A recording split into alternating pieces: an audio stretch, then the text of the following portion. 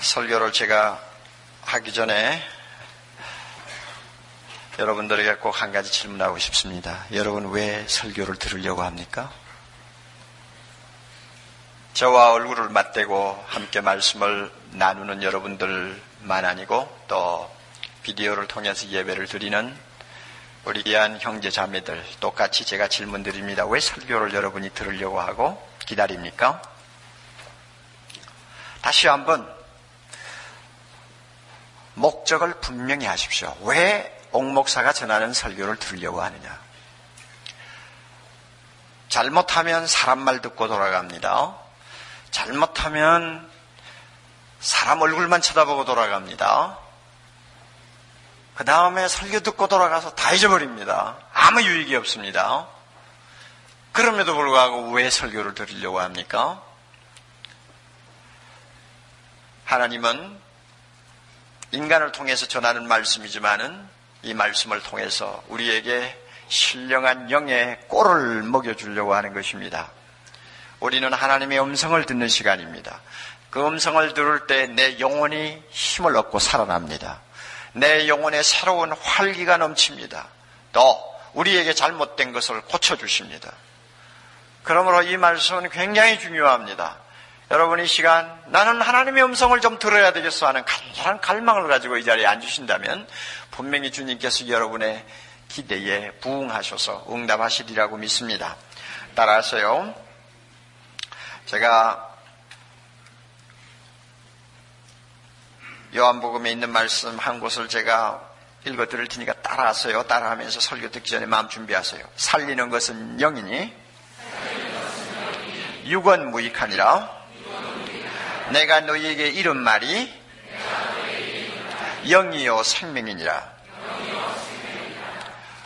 사람 눈에 보이는 뭐 설교자, 뭐 사람 귀에 들어오는 인간의 어떤 요란한 단어들 그 의미가 없어요. 그것은 하나의 수단이 지나지 않습니다. 살리는 것은 영이니 하나님의 살리는 음성이 내 마음에 들어와야 됩니다.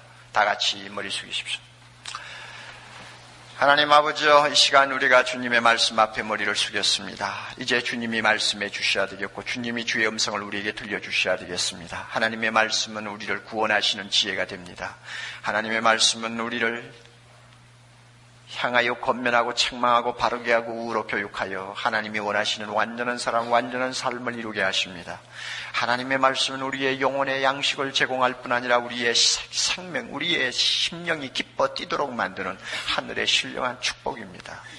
캄캄한 세상을 밝히는 등불입니다. 주여 이 시간 머리 숙인 주의 자녀들 성령을 통하여 하나님의 음성을 들으며 하나님의 영광을 보며 하나님의 은혜 앞에 흠뻑 젖는 시간 되도록 축복해 주옵소서. 예수님 이름으로 기도하옵나이다.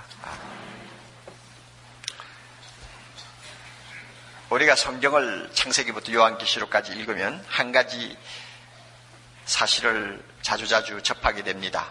하나님은 모르시는 것이 없다 하는 내용입니다. 이것을 신학적인 용어로 전지하시다 이렇게 말하죠. 과연 하나님은 모르는 것이 없이 다 알고 계실까?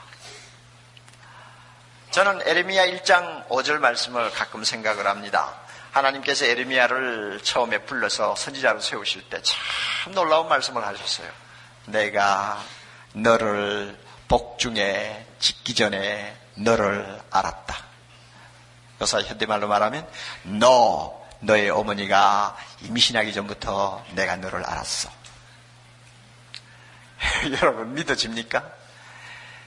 하나님이 모든 것을 아신다 하는 것이 얼마나 그 차원이 깊고 높고 얼마나 신비한지 우리의 지성을 총동원하고 총동원해서 추구해도 절대 그 끝을 볼 수가 없을 만큼 하나님의 전지는 무한하고 무궁합니다.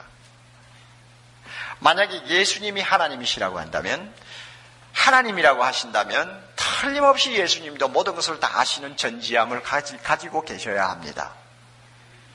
비록 나사렛 청년의 모습으로 우리 앞에 등장하시고 세상 앞에 보였지만 그에게는 아름다움도 없고 분모할 만한 것도 아무것도 보이지 않는 평범한 한 청년이었지만 그분이 정말 하나님이시라고 한다면 분명히 예수님도 모든 것을 아시는 전지함을 소유하고 계셨을 것입니다. 거기에 대한 해답, 정말 예수님은 전지하시냐? 거기에 대한 해답이 오늘 우리가 읽은 본문 바로 옆 페이지에 있죠. 2장 24절 25절에 나옵니다. 우리 한번 같이 읽어봅시다. 2장 24절 25절 예수는 그 몸을 저희에게 의탁지 아니하셨으니 이는 친히 모든 사람을 아심이요 또 친히 사람의 속에 있는 것을 아심으로 사람에게 대하여 아무의 증거도 받으실 필요가 없음이니라. 예수님은 모든 사람을 다 아신다고 했습니다. 만나서 합니까? 아니요. 하나님으로서 아시는 것입니다. 예수님은 사람들의 속에 있는 모든 것을 들여다보시고 아신다고 했습니다. 뭐 이야기를 들어보고 경험을 해서 합니까? 아닙니다. 그냥 아십니다. 왜냐하면 그분은 전지하시기 때문입니다. 예수님이 이와 같이 모든 것을 아신다 하는 사실을 좀 더 재미있는 어떤 에피소드로 우리에게 알려주는 내용이 바로 우리가 읽은 이 본문입니다. 그러니까 이 본문 재미있어요. 우리는 이 본문을 살피기 전에 이 하나님의 전지하심에 대해서 참 어떻게 표현할 수 있을까 하는 어, 고민을 가끔 설교자로서 하게 됩니다. 여러분, 큰 것을 하나님이 아신다고 하면 하나님은 큰 것이니까 아시겠지. 우리가 뭐 그렇게 이상하게 여기지 않을 수가 있습니다. 유명한 사람을 하나님이 너무나 잘 아신다 하면 아 유명하니까 하나님도 아시겠지. 뭐 그렇게 생각하고 우리는 넘어갈 수 있습니다. 그러나 하나님의 그 전지하심의 신비는 너무 하찮은 것을 자세히 아신다는 것입니다. 여기에 있습니다. 저는 하나님이 저를 잘한다고 늘 믿고 있습니다. 여러분도 마찬가지죠. 그러나 저 하나는 어떤 존재입니까? 세계 인구가 60억이라고 하면 60억 분의 1입니다. 저는 수학적인 개념을 잘 몰라요. 그러나 60억 개 중에서 하나라고 하는 것은 존재 가치가 사실 없다고 해도 과언이 아닙니다. 여러분 한 종이에 거기에 그 세미한 입자들이 모여서 한 지면을 이룬다고 할 때 그 중에 60억 60억 분의 하나라는 것은 여러분 존재가 어느 정도입니까? 우리는 수학으로는 설명할 수 있을지 모르지만 경험적으로는 그 존재는 없는 존재입니다. 눈에 안 보이는 존재입니다. 무시해도 되는 존재입니다.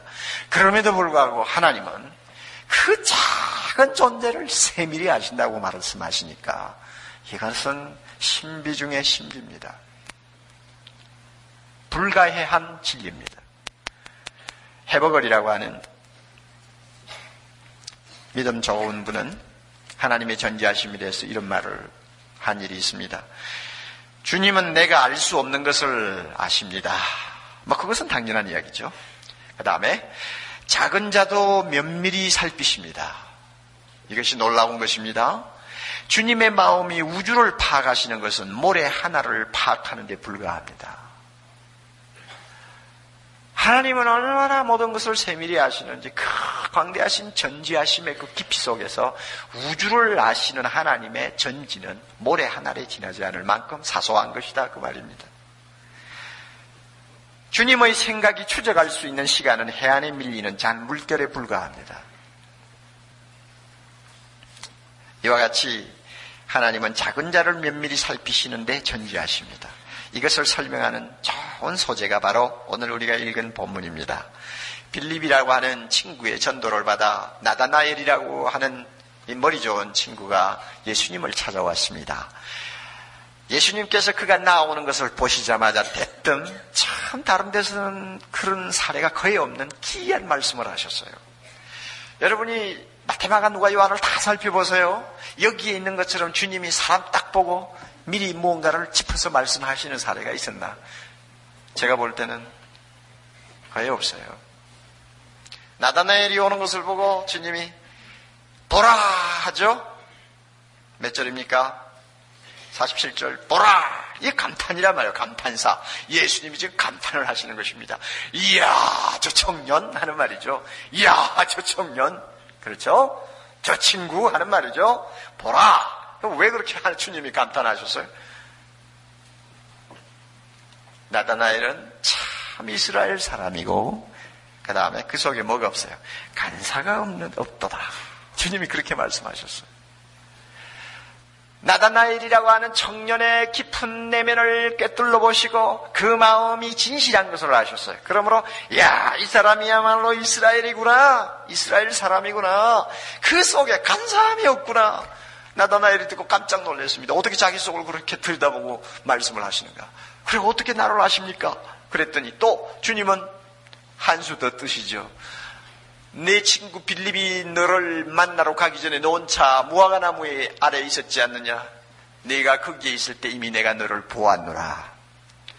그 말 한마디에 나다나엘은 그냥 폭삭 꼬꾸러졌습니다. 어, 자기는 그저 나이가 뭐 예수님과 나다나엘이 비슷했는지는 그건 잘 모르겠어요. 그러나 뭐 그저 빌립이 메시아를 만났다고 해서 호감이 호감이 가서 찾아왔지만은 뭐 뭐, 뭐, 뭐 그렇게 대단했겠, 대단한 사람이겠느냐 하고 생각했는데, 막상 만나보니 자기 내면을 환히 깨뚫러 보실 뿐만 아니라 자기가 무화과 나무 아래 혼자 있을 때 벌써 자기를 알아보았다고 하니 이건 사람이 아니죠. 하나님이라 말이요. 이런 일이 어떻게 있을 수 있느냐. 그래가지고 예수님 앞에 무릎을 꿇고 어떻게 고백합니까? 랍비요. 선생님, 당신이야말로 하나님이십니다. 당신이야말로 이스라엘이 기다리는 우리의 왕이십니다. 하고 고백을 했습니다. 여러분, 이 간단한 에피소드를 우리가 앞에 놓고, 야, 예수님이 모든 것을 아신다는 말씀을 하시는데 그 아신다는 것이 어느 정도인가 하는 것을 우리가 대충 살펴볼 수 있습니다. 우선 먼저 예수님은 우리 속에 있는 것을 다 아십니다. 나다나엘 속을 들여다보시는 주님은 그 안에 간사함이 없다고 그랬습니다. 간사라는 뜻이 뭡니까? 간사하다, 간사하다. 우리가 가끔 듣는 이야기입니다만은 결코 좋은 인상을 가진 말이 아닙니다. 사전을 찾아보니까 더 기분 나쁘게 설명을 해놨어요. 한번 들어보세요. 강교하고 사악하여 발라 맞추며 남을 속이는 재주가 있는 것을 간사하다고 한다 그랬어요. 한번 더 들어보실래요? 강교하고 사악하여 발라 맞추며 남을 속이는 재주가 있는 것이다. 우리 본문에 이 간사함이 없다, 간사한 것이 없다 할 때 이 간사라고 하는 말 안에는 이 낚시꾼이 고기를 낚는 의미가 들어 있습니다. 여러분, 고기 입장에서 볼 때 낚시꾼이 얼마나 간사합니까? 그렇죠?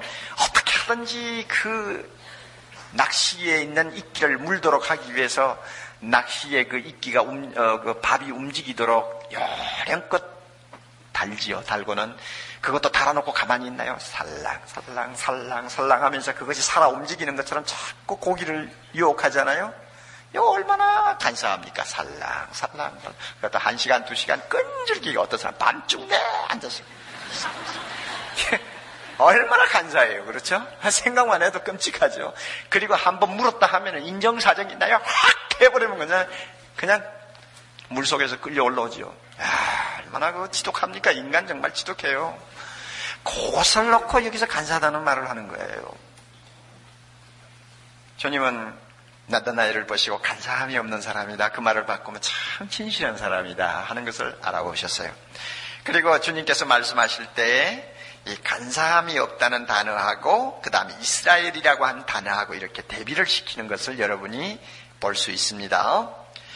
보라 이스라엘 사람이라 하고는 그 다음에 간사한 것이 없다. 그러면 이스라엘하고 간사한 것. 여러분 이스라엘은 누구의 이름입니까? 야곱의 이름이에요. 야곱이 하나님을 만나고 나서 얻은 새 이름입니다. 그러면은 우리가 금방 생각나는 거 있어요. 아, 이스라엘 간사. 그러면 간사 대신에 무슨 이름을 갖다 놓을 수 있어요? 야곱이라는 이름을 같이 놓고 비교할 수 있습니다. 야곱과 이스라엘. 그런데 나다나엘은 야곱, 야곱, 야곱형의 인간이 아니라 이스라엘형의 인간이라는 그 말입니다.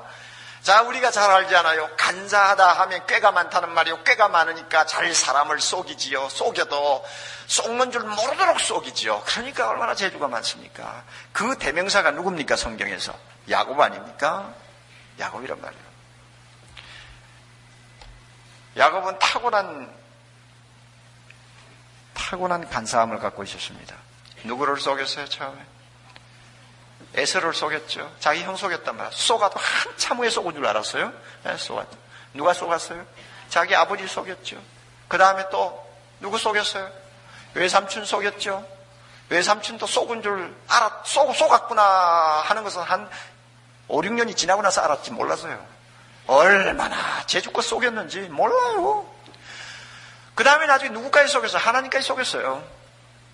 그러니까 얼마나 잘 속였습니까? 얼마나 강교하게 사람을 그냥 이 마음대로 주물렀는지 다 녹아요. 다, 다, 다, 다, 다 쏘가 넘어가요.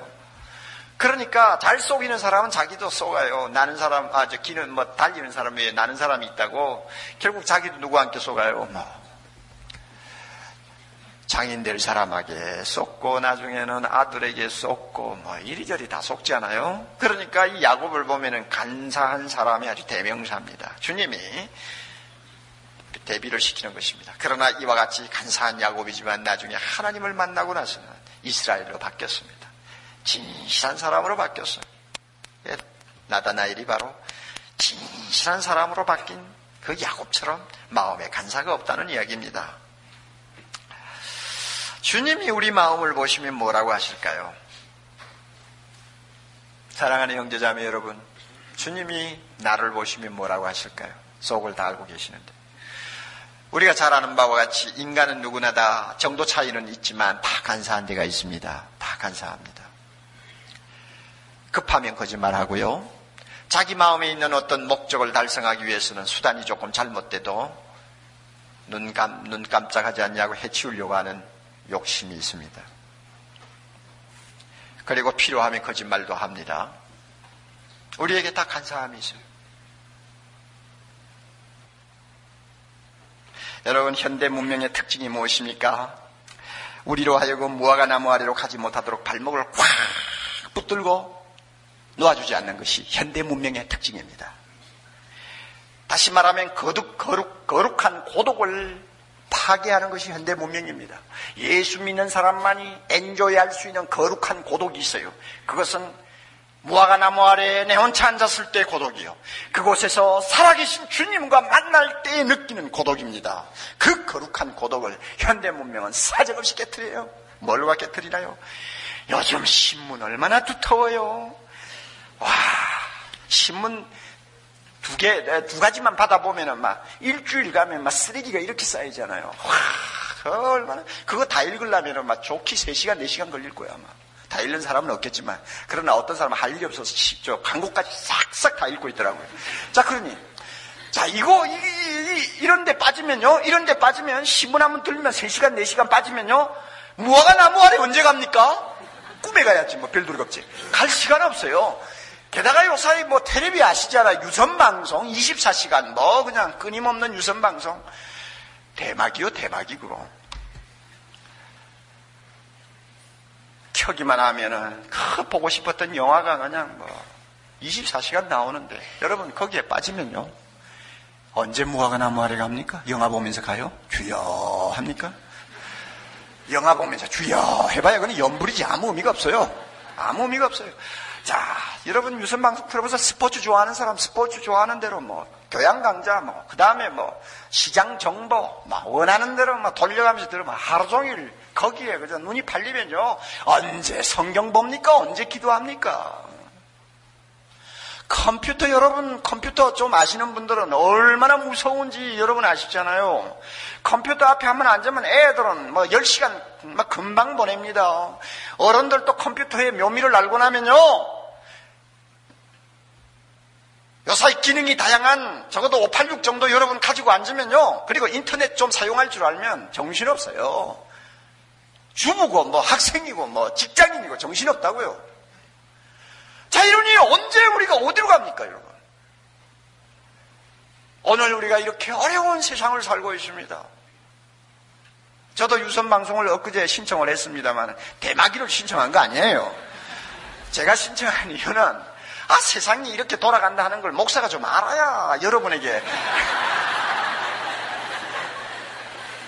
말씀을 전할 거 아닙니까? 그래서 나도 한번 신청해놓고 보자 그랬는데 아, 그 대단할 것 같아요. 물론 뭐 미국에 가면 그런, 그런 방송들이 뭐 흔해 빠졌으니까 제가 뭔지 너무 잘 알죠.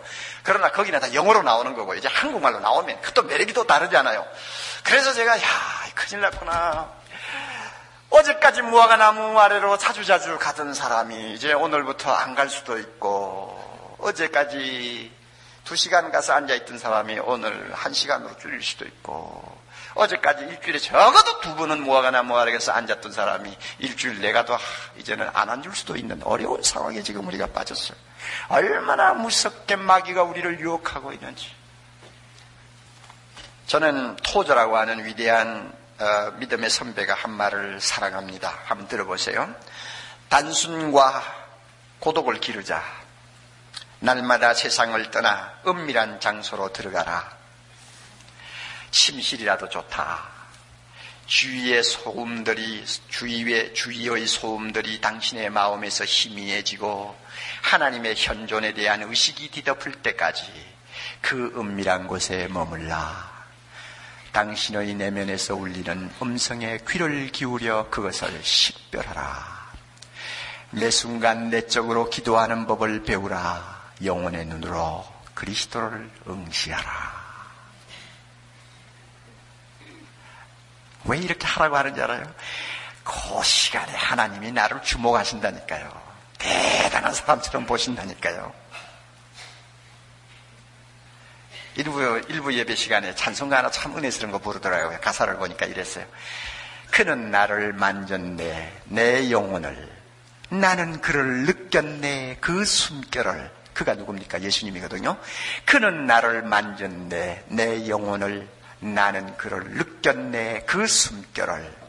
주의 사랑이 있으면 나 외롭지 않아. 주의 사랑 안에서 나 두렵지 않아. 주님이 나를 만지는 것을 언제 체험합니까? 내가 그를 언제 느낍니까? 무화과나무 아래서. 이렇게 마음이 진실하고 무화과나무 아래를 자주 찾는 사람은 주님께서 굉장한 축복을 약속하십니다. 여러분 50절 51절 보세요. 예수께서 대답하여 가라사대 내가 너를 무화과 나무 아래서 보았다 함으로 믿느냐? 그 다음에 다 같이 이보다 더 큰 일을 보리라 주님의 약속입니다 진실하기를 원하는 사람 시때때로 무화과 나무 아래를 찾아가서 하나님을 만나기를 원하는 사람에게 더 큰 일을 보리라 축복의 약속하셨어 그럼 그 더 큰 일이 뭐요? 또 가라사대 진실로 진실로 너에게 이르노니 다 같이 하늘이 열리고 하나님의 사자들이 인자 위에 오르락 내리락 하는 것을 보리라. 우와! 대단하네. 여러분 이런 거 본 일 있어요? 본 일 있어요? 야곱은 봤죠. 사다리 위에 사다리 위에 천사가 오르락 하는 거 봤죠. 그러니까 이 사다리 대신에 인자라는 말이 들어갔죠. 예수님 위에 천사들이 오르락 내리락 하는 것을 볼 것이라고 그랬습니다. 예수님은 하늘과 땅 사이에 서 계십니다. 하늘로부터 천사들이 오르락 내리락 하는 것을 보고 보리라고 했습니다. 여러분 보았어요? 저는 봤어요. 놀래지 마세요. 날마다 봅니다. 두 가지 해석이 있어요. 이건 뭐냐? 물론 이 글자대로 볼 수도 있어요. 그러나 뭐냐? 첫째 해석은 예수님은 이 세상의 구원자로서 하나, 하나님과 세상을 연결해주는 중보자입니다. 그러므로 이 하나님과 사람 사이를 이어주는 구원자, 중보자의 모습을 지금 여기서 말씀하시는 것입니다. 그러니까 무슨 뜻이냐? 나다나에라, 너, 뭐 내가 너, 뭐, 뭐 무화과나무 아래 있다는 걸 가지고 무화, 무화과나무 아래 있다는 것을 있을 때 보았다는 말을 가지고 감격하느냐? 아니야. 너 이제부터 내가 하나님과 세상 사이에서 많은 사람을 하나님 앞으로 인도하는 엄청난 일을 하는 것을 내가 보게 될 것이다. 그 말이에요, 그 말. 구원자로서 예수님, 하나님과 우리 사이를 이어주어서 길이요 진리요 생명의 역할을 하시는 나의 주님을 우리는 날마다 믿음으로 봅니다. 저는 보고 있어요. 그리고 또 하나 해석이 있습니다. 하는 예수님 외에 천사가 오르락 내리락 하는 것은 뭘 의미하느냐? 당차 예수님이 이 세상을 심판하시고 우리를 하나님 나라로 인도하기 위해서 재림하실 때에 천사들과 함께 오실 것을 약속하시는 것이다 하는 해석도 있습니다. 그 말도 옳은 말이에요. 왜냐하면 그날이 되면 우리는 실제로 나의 눈을 똑똑히 뜨고 영광의 주님이 천사들과 함께 하늘에서 내려오시는 걸 볼 테니까요. 그래서 나다나이라 너 굉장한 거 나중에 본다 하고 약속하신 것입니다. 우리는 믿음의 눈으로 봅니다. 말씀을 통해서 날마다 주님이 구원자요 재림주로서 항상 우리 눈만 눈 영의 눈만 열면은 우리 앞에서 영광스럽게 계시는 것을 우리는 봅니다. 보아요. 나다나엘은 예수님의 제자 중에 바돌로메를 가리킨다고 하는 것이 정설입니다. 자, 이 바돌로메 얼마나 평생 예수님이 하나님과 세상을 이어주는 어, 화목시켜주는 구원자로서의 주님에 감격했느니라. 그는 복음을 전하고 예수님을 전하기 위해서 불타는 심정으로 그 당시 어려운 조건을 무릅쓰고 인도까지 가서 인도까지 인도까지 가가지고 복음 전하다가 사람들이 들어서 물에다 던져버려 죽었어요. 순교했어요. 우리 예수님이 세상을 구원하는 구원자로서 우리를 위하여 죽으시고 살아나신 것을 날마다 보면서 바돌로메는 살았어요. 나다나엘은 평생을 살았어요. 그리고 주님이 재림하셔서 이 세상을 심판하시고 주의 자녀들을 구원하시는 그날을 기다리면서 그 영광의 환상을 보면서 날마다 살았어요. 주님이 약속하신 대로 그 큰 일을 보면서 살았어요. 사랑하는 영조자매 여러분, 우리도 참 하나님이 알아주시는 진실한 사람 되기를 원하고 이 진실한 사람으로서 평생을 살기 위해 자주 자주 무화과나 무화에 가서 하나님과 만나기를 원하면요. 주님이 날마다 우리 영의 눈을 열어서 주님의 영광 보게 합니다. 천사가 오르락내리락 하는 주님의 영광 보게 합니다. 믿습니까 여러분? 이와 같은 은혜 때문에 우리가 거짓말하지 않고도 이 세상을 사는 것입니다. 이와 같은 은혜가 우리에게 날마다 없다면 우리는 한시도 살 수가 없어요. 사랑하는 형제자매 여러분, 왜 이렇게 먹고 마실 것이 수두룩한 세상에 단추만 누르면 우리가 원하는 것을 대부분이 얻을 수 있는 이 편리한 세상에 가고 싶은 곳이 있으면 불과 2시간 아니면 5시간 길어도 10시간이면 큰 바다를 왔다 갔다 할 수 있는 이 참 굉장한 문화, 문화적, 문화의 혜택을 받고 있는 이 세상에서 왜 우리가 날마다 마음의 불만을 가지고 삽니까? 왜 찡그리고 삽니까? 왜 마음에 기쁨이 없습니까? 왜 감사가 없습니까? 왜 자주 우리는 스트레스를 받고 왜 자주 지쳐버립니까? 이유가 있어요. 이유가 있어요. 뭐가나 뭐 아래에 자주 가지 않기 때문에 그렇습니다. 하늘로부터 오는 신령한 은혜를 공급받지 못하고 내 힘으로 내 제주대로 살려다가 보면 나중에는 간사해진 인간이 되어버리고 우리의 영혼은 말할 수 없이 갈증을 느끼고 그야말로 드라이 해버립니다. 주님이 이런 사람 원치 않아요. 이런 생활 원치 않아요. 사랑하는 형제자매 여러분, 진실합시다. 주님이 알아주십니다. 믿습니까? 사랑하는 형제자매 여러분, 무화과나 무아리로 자주 갑시다. 주님은 그 시간에 나를 주목하십니다. 믿습니까? 이 은혜 가지고 우리 살아야 합니다.